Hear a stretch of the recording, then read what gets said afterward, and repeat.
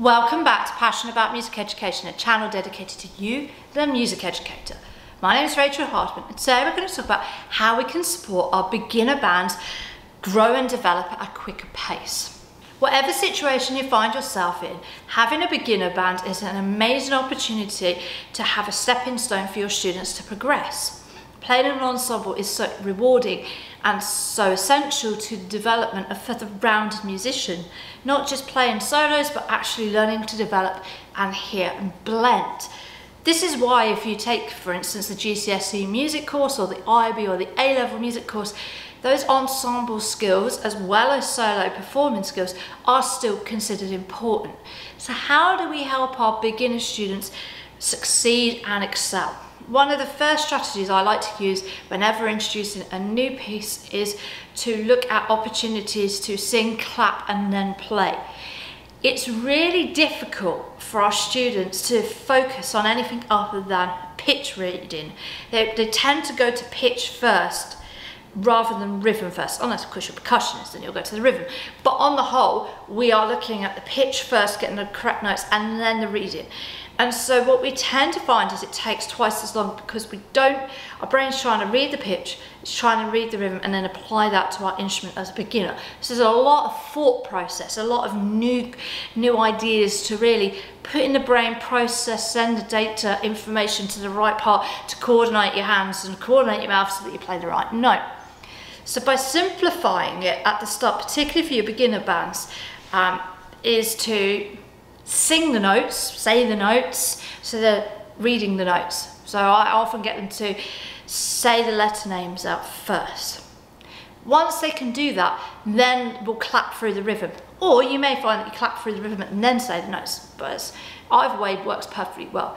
I often get them to sing it as well so that they can hear the melodic line and it also helps if you've sung and demonstrated you've already sung and demonstrated not just the pitch but the rhythm so they've already heard the rhythm so more likely to copy it back once you've helped them establish that and this is maybe a couple of minute exercise this is not all, all rehearsal is then to play it You've taken away the thought process. You've taken the difficulty of reading the notes and the rhythms, two separate skills. So they've already covered that, it's already here. So then it's a matter of processing it to their instrument. That actually helps the students speed up reading of music, particularly in an ensemble.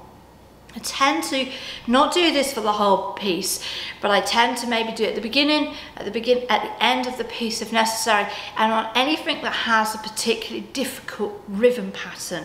So often our students get um, tripped up by complicated rhythms because they may well have not experienced that in the, you know, the beginner method books, their first pieces. A lot of those beginner pieces are, you know, minims, crotchets, quavers, and semibreves. So they're not really playing anything that's dotted rhythm, that's syncopated. But when they come to play band music, you do find that, that that's already in those beginner pieces. So anywhere that you can help from singing, clapping, um, and then playing will help your students eliminate all that challenge that they're trying to put instantly on their instrument. A lot of music teachers will use scales as a great warm-up exercise, even if it's not the full scale and you're just going up to five and back down to one, just to help build the note range and the you know coordination. And that's really fantastic. But I think it's equally as important to do some rhythm reading exercises as a band. I created a number of worksheets that I would give the band and we would play on a unison concert B flat, you might want to harmonise it, it's up to you, but to really get them reading rhythm, so I'd compose a four bar rhythm and then I'd give them a bar rest for counting, so they're practicing counting science and also so they can catch up if they get behind, and then another four bar and another four bar. The sheet generally would be like 4-4 and the next sheet would be 3-4 and it might be 6-8, depending on the, you know, ability range of your group. But actually just focusing on reading the rhythm and playing it accurately will improve their rhythm reading of band music. I also think it's really important to share recordings of any music that you're doing in a band. So there's so much on YouTube now and with JW Pepper putting a lot of the scores um, on there so you can hear them which is fantastic for teachers because we can actually go and listen to a load of music and see whether it works for our ensembles before we buy it. Well, those recordings are equally as useful for our students to practice with. So don't underestimate sending the link in emails to the students with that because those conscientious students will go away and practice along with it. And those who maybe aren't so conscientious will probably listen to it. Then at least if they're listening to it, they know what the overall piece is. Because sometimes if you're playing the alto saxophone and you've been given the sort of, you know, that middle harmony part within the band piece, you've got a lot of repetitive rhythms, sometimes even on the same note, and it's quite tricky to know what your part sounds like because you don't know how it fits in context. But then playing your part along with the rest of the band with the flutes who've maybe got the tune then it goes over the trumpets really does help your saxophone players, for instance, grow in confidence because they'll know how to fit their harmony part within the rest of the ensemble and blend well. Never be afraid to share the parts with your instrumental teachers so that they can help your students.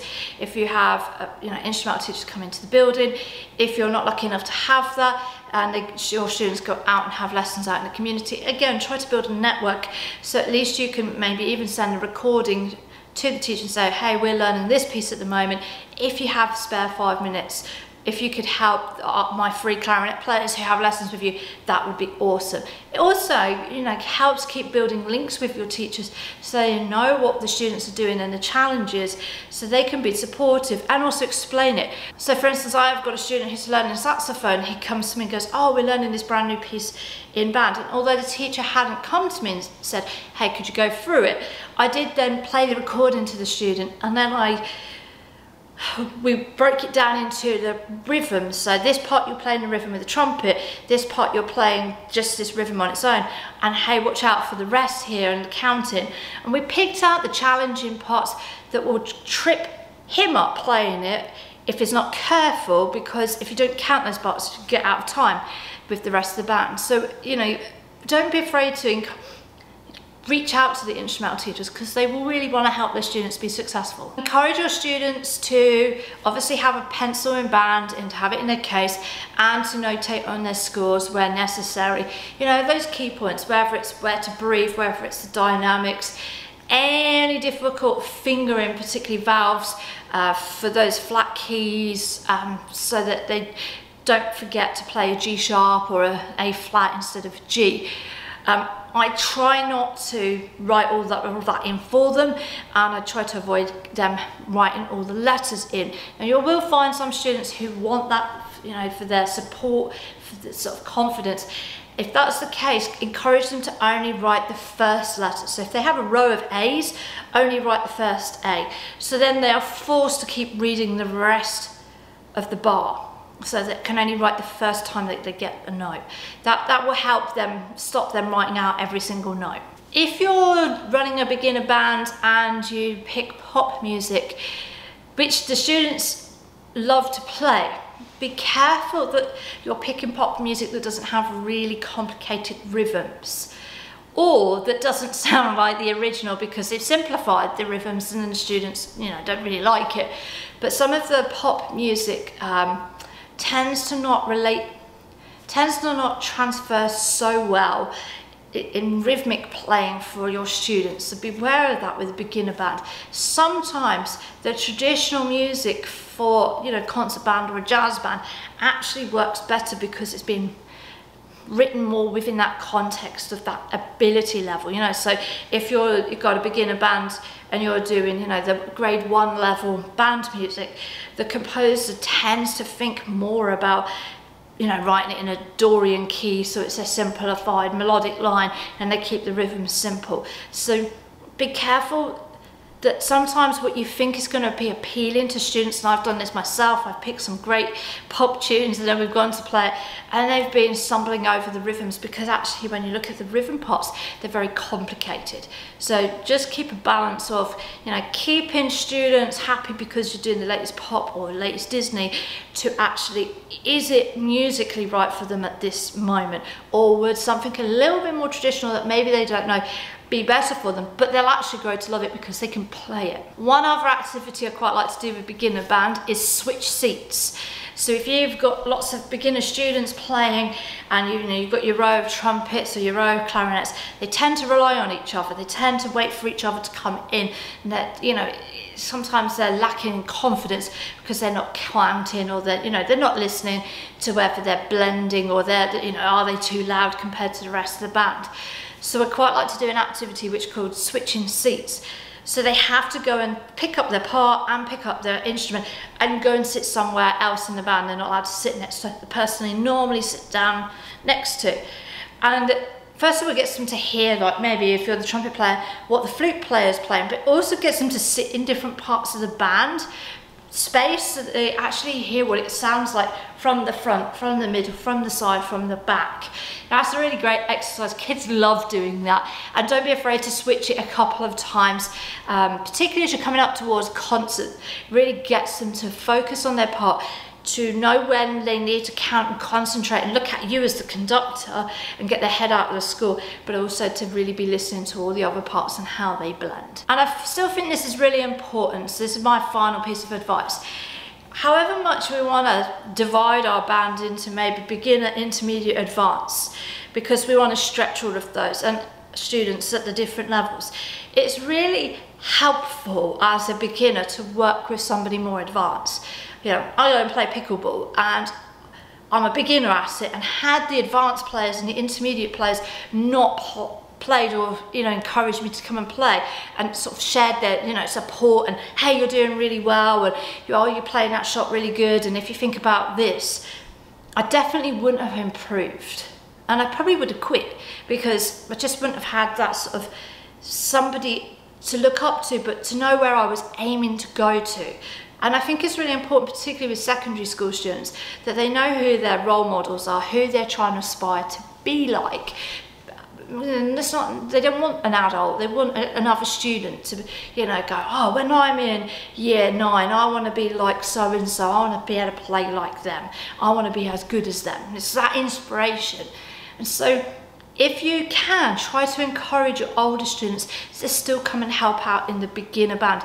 Whether they come and you can give them credit for um, a community service or whatever way that you can praise. They become a section leader, they become a you know band coach, whatever it is that you can do to reward those older students, the benefit of them playing, the security they will give the beginners will be invaluable, but it also help your beginners grow in confidence and improve quicker.